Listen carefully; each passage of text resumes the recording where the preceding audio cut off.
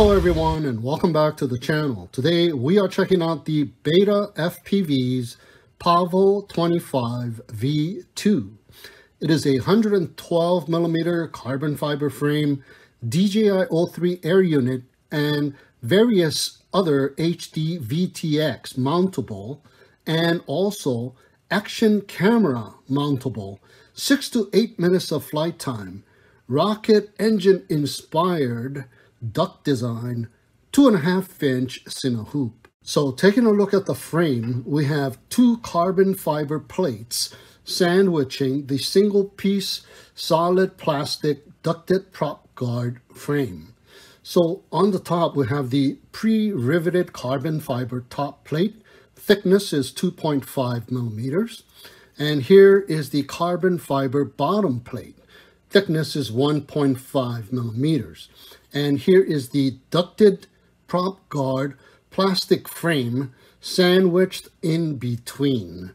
Now they are mounted together via the CNC 7075 Y-shaped aluminum standoffs instead of the traditional pillar type standoffs to eliminate bending and distortion during flight which equals to smooth turns and less vibrations.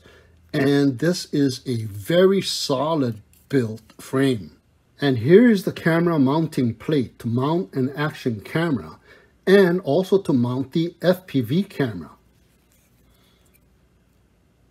As you can see, it is soft mounted. The Pavo 25 V2 is capable of accommodating a digital HD VTX, such as the DJI O3 Air unit, for the FPV and thus HD video recordings. So there's no need for an action camera, but you can always add an action camera. You can also use an analog VTX as well. So you can enjoy the Pavo 25 V2 without the high cost of HD VTX like the DJI O3 Air unit and use any analog VTX and a camera combo. And mount your lightweight action camera that you may already have, such as a naked GoPro 12, DJI Action 2, or Instago 3 for the HD video recordings. Now here's something a little different. The XT30 connector is soldered together to a mounting plate and then screwed on to the top plate instead of it dangling from the positive and the negative battery pads, preventing damage to the flight controller board if the battery gets pulled out with force, like in a crash situation. It will simply get unplugged instead of pulling on the soldered joints on the battery pads. Now this is really nice and it also allows you to plug in the battery and remove the battery with just one hand. Now, this innovation could become widely accepted and become the standard way to mount any battery connector. So mine came with a weak solder joint on the XT30, so it was reinforced with a little bit more solder. So always check your solder joints. Now right below it is a 3D printed antenna mount for the VTX, which also houses the externally mounted ELRS receiver and its antenna. Looks like the mini nano ELRS receiver with the white T antenna and the antenna and the receiver fits in there perfectly. So this flight controller is not one of those SPI receiver built-in flight controllers. So it will give you the full range of the externally mounted receiver that is being used and not limited to the range of an SPI receiver. The battery strap holder is mounted onto the frame as well. They are made out of the same hard plastic material like the ducted plastic frame and it looks and feels solid and strong and it is very well made. And we have the anti-slip battery pads pre-installed. So it is a pusher style setup with the upside down motors. So there's no air restriction on the bottom where it actually matters. Now it has small protrusions as landing gears and provide very little clearance. So do not land in dirt or grass. Land somewhere that is nice and flat and smooth. Now the props are the Gemfan D63 tri-bladed props with the two screws. And the actual motors are the 1505 4600 kV motors and they are the Beta FPV in-house branded motors. Contrary to the website's 1506 4200 kV motors. Just four screws will remove the bottom plate and we can get direct access to the flight controller. Now the flight controller is the F722 35 amp all-in-one V2 brushless flight controller. It has six full UARTs available. It has the six pin plug and play for the DJI O3 Air unit, so there is no soldering involved. It has 35 amp BLHeli32 ESCs built in, 60 megabytes of flash memory for the black box logging, and processing speeds of up to 128K PWM frequency. So with the four screws removed and the bottom plate removed, we can then work our way to removing the plastic ducted frame. Now it takes a little while to remove it, but once removed, you can get full access to the flight controller. So we have the receiver pads with the ELRS receiver already soldered on, and we had a three pin connector for the LED light strip already prepped, which was removed because I'm not going to be using any LED lights. We have a Rubicon 25 volt 470 microfarad capacitor soldered onto the battery pads directly. And there's the micro USB port to connect to Betaflight configurator. Now there's enough space, but I couldn't find a working data cable to fit, so the motor had to be removed to connect the micro USB cable. And that is the reason why I just have one screw holding the motor in place. So I can easily remove the motor and work on my flight controller with the Betaflight configurator. Okay, so here we are in Betaflight, connecting the quadcopter, the USB, and there we go. So first things first, if you scroll down and go to CLI and type in dump and hit enter, you have the factory settings for the Pavo 25. So you can go ahead and highlight it and save it to a note and you will always have that copy of the factory settings. But the product page also provides a link to the factory CLI dump files as well. So you are safe if you don't copy and paste it to a note. But you may want to save the dump files once again after you make changes to the flight controller as well. So you can have both the before and after. So I'm going to type in exit, enter to get out. And with the quadcopter on a flat level surface, you want to calibrate the accelerometer here. Next, go into the ports. So in the ports tab, we have UART6 for the ELRS receiver and UART2 for the DJI Air unit. So you would turn this off if you are using an analog VTX and turn on the UART that you are using and choose the VTX protocol. So next is the configurations tab. Now here you need to make sure that the rotation of the board is set to 270 degrees clockwise flip, just like how it is right here. And there's the craft name. You can also put the pilot name if you want. Yeah, all looks good. Now I'm going to turn off the LED strip because I removed the LED dongle and I'm not going to be using the LED strip And also I'm going to turn off air mode. And that is because I want air mode on a toggle switch on the remote controller. So that is just about it here. I'm going to save and reboot. Okay, so let's go back to the configurations and the changes have been saved.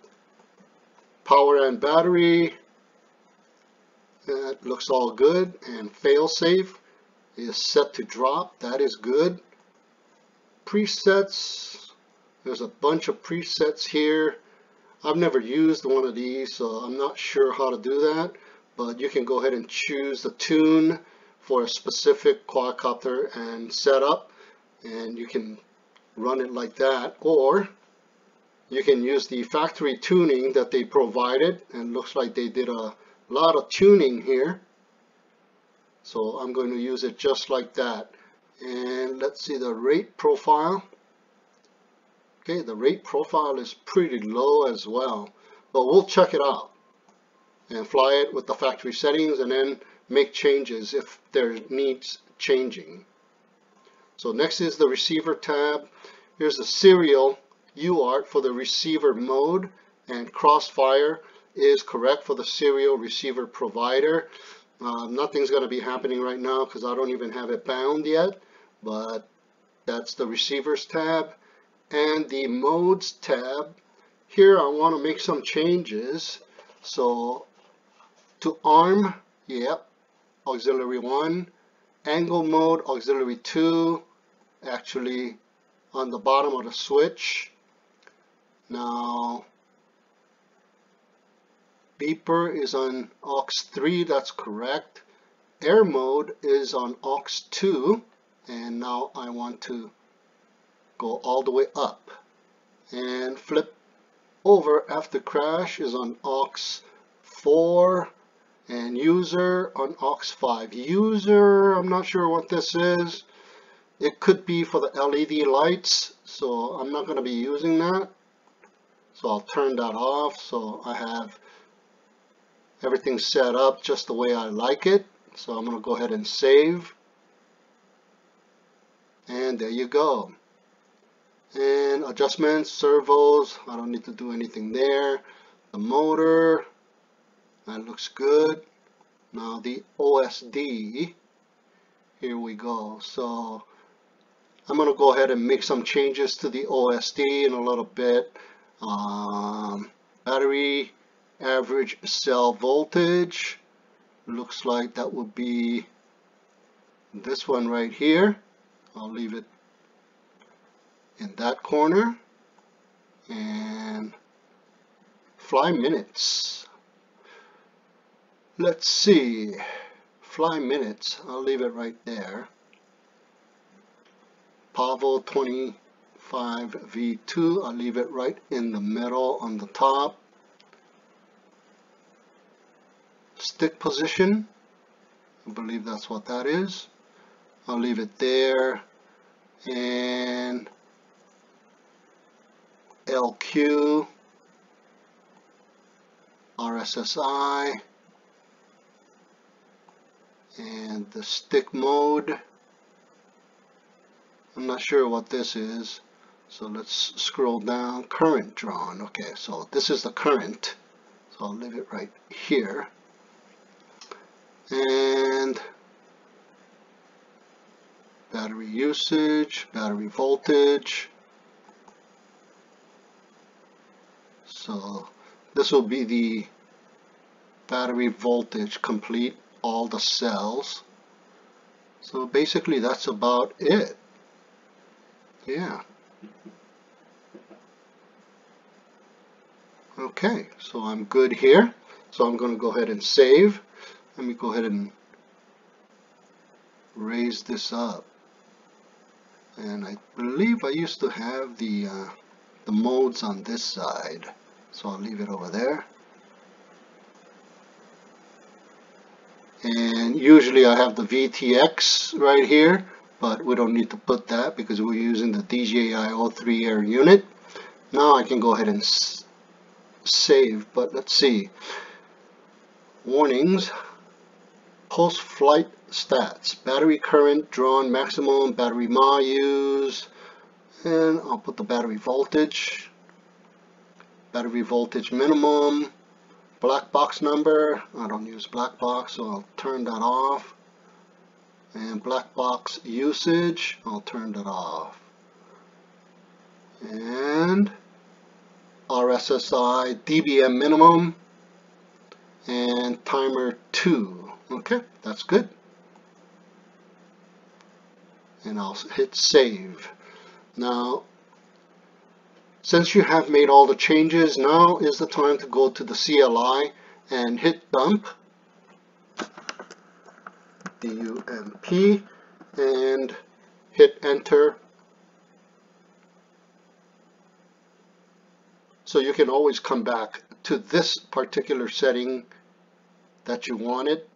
So in the CLI dump, you can find out what the board is and also the version of the firmware that is installed and the time that it was installed. You can also scroll right here on the top and you can find out the version as well and what kind of board it is as well.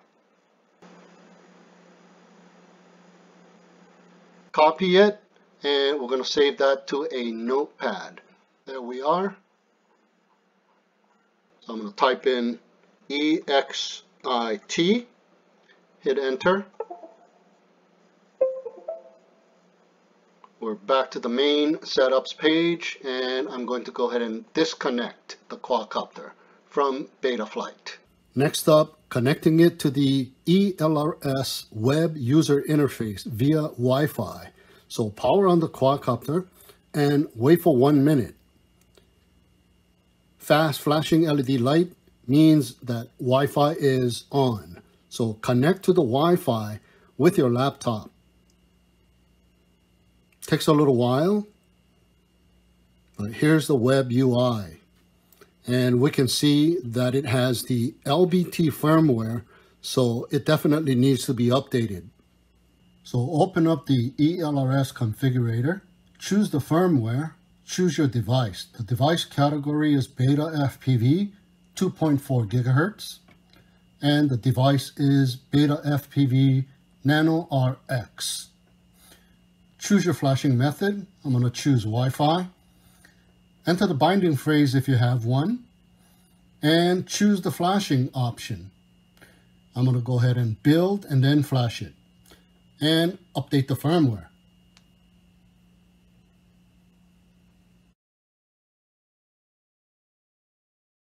And now we should be able to bind automatically since the quadcopter and the remote controller has the same binding phrase. So let's power it up. Telemetry recovered. There you go. Success. Okay, so here we are, Betaflight once again. Connecting the quadcopter. Okay, so let's go down to the receivers tab. And there we are, turning on the remote controller. Welcome to EdgeTX. Okay, nothing is happening because there's no battery plugged in. So let's go ahead and plug in the battery.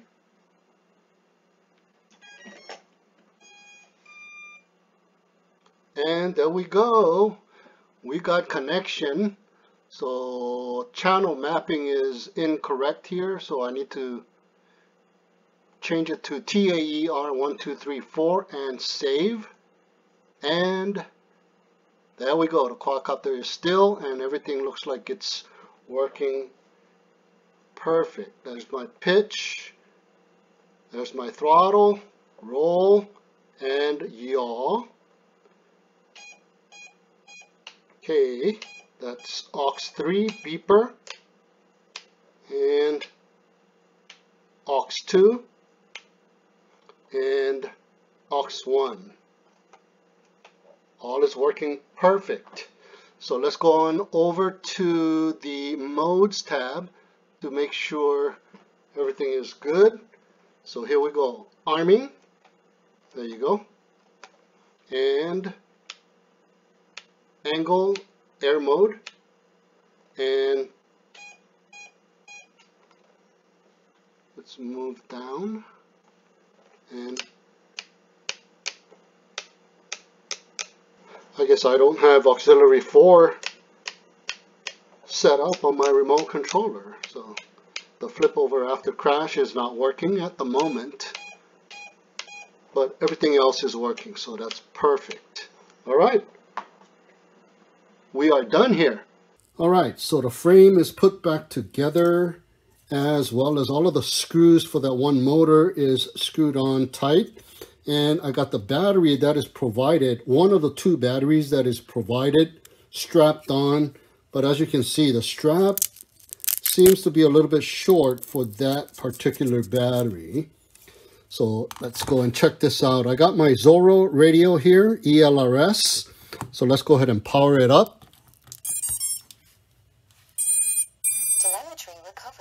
Okay, this one also has the binding phrase, so automatically binds.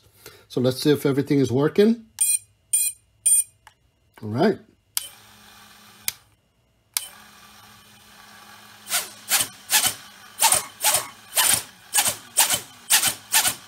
All right. Everything seems to be working. All right. Okay, guys, so here we go. Your basic hover test.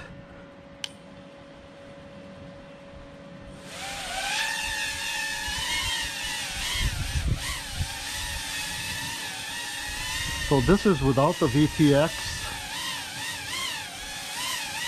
I'll be mounting the DJI O3 air unit and testing it out soon. So this is just a basic hover test. Make sure everything is working and we are safe to put the VTX on.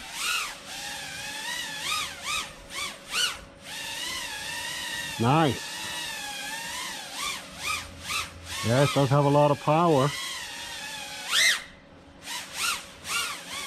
There's no extra weight on it. But I'm sure with the DJI O3 Air unit, it's going to be a little bit heavier. But looks like it's got nice power. All right. So that'll do it.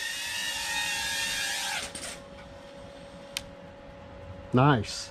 Okay, so from here, you can install one of those digital VTX units like the DJI O3 Air unit, Walksnail Avatar Pro, Caddx Vista, and the RunCam Link.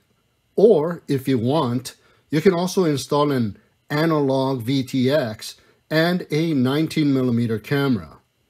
So on the next video, I'll be installing the DJI O3 Air unit and we're going to do some FPV. So that'll do it for this video. Thank you so much for tuning in and watching. Have a great day and we'll see you again next time.